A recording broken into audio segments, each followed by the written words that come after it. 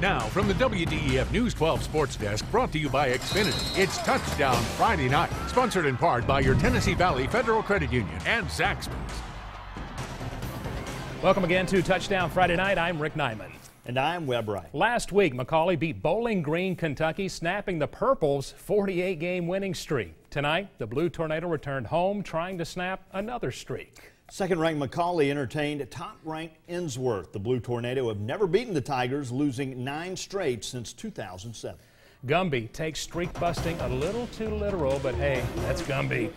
Second quarter, McCallie leads at 21-13 when Alex Trotter punches it in from the one. PAT was no good, so it's 27-13 McCallie. First snap for the Tigers following Trotter's score. PJ settles down the field to Rico McGraw. Only Gumby can stop him, and Gumby ain't around. 72-yard touchdown catch to make it 27-20. Under a minute before the half, McCallie answers. Javon Craig to Tyler Payne, a 35-yard TD pass. I almost felt the pain on that catch right at me. 34-20 McCallie at the half. Third quarter, McCallie DB Miles Patton playing like an NFL cover corner with that pick. Great play. And the Blue Tornado would cash in. Trotter up the middle from 11 yards out, it's 41 to 20 McCallie. Trotter a buck 77 on the ground tonight. Back and forth we go. Donovan Sheffield has it for Ensworth. He bounces all over the place before bouncing in from 12 yards out, but the Tigers couldn't keep up with the Blue Tornado. McCallie wins it 62 to 34. Ensworth wasn't the only number one ranked team visiting our area tonight. Cleveland entertained top ranked Knox West. Already up 17 7 when Seth Marshall keeps the ball for himself, runs it in for a long, easy touchdown. 24 7. Blue Raiders trail. Cleveland trying to get back in it.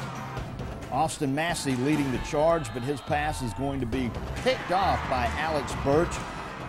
And it's a pick six. He takes it to the house for the touchdown. Too much from the Rebels as they win it by a final of 38 to 14. Taking a look at the scoreboard, it was Austin East over Brainerd 27 to 21.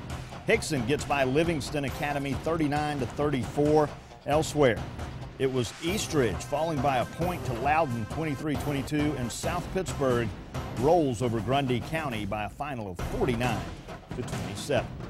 Rhea County beat rival Red Bank 44 to nothing last season, and the Golden Eagles offense appears revved up for tonight's meeting with the Lions. They're averaging over 40 points a game.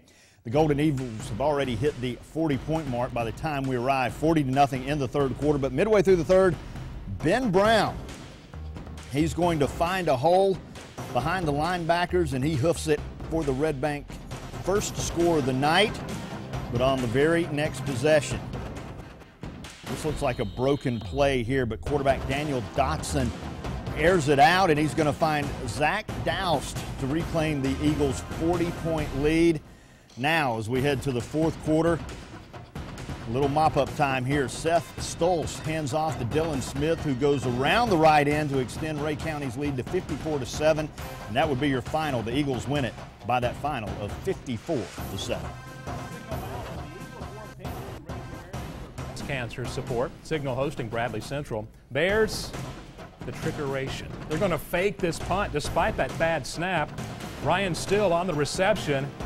He's going to pick up the first down, but the Bears could not get any points. Now, perhaps the toughest run of the year. Sky Wilson for the Eagles up the gut. Not even the entire, not even the entire Bradley defense can bring him on, down. He's like, like the Terminator. Number 30 jumping on top there. That made it 7 nothing. I told you it's a tough run. Second quarter, Wilson finds less resistance on that touchdown run. It's 13 nothing. Guess who Signal gives it to again? Sky Wilson. Why not? Signal Mountain goes on to beat Bradley Central tonight by a final score of 27 to 7. And I think Sky Wilson carried the bus for Signal Mountain. You could say the Sky's You um, could say that. There are a bunch of them with his name, that's for sure. Lancaster Christian spoils homecoming for Howard 34 to 18. Soddy Daisy over Tyner 46 to 21. Grace Academy at home tonight. They fall to Eagleville 62 27. In White County, they beat CCS by a touchdown. Coming up next, Walker Valley gets a crack at another county rival or another rival in Polk County. Plus, Heritage entertains Southeast Whitfield, and Ringgold tries to find a way to slow down perennial power Calhoun.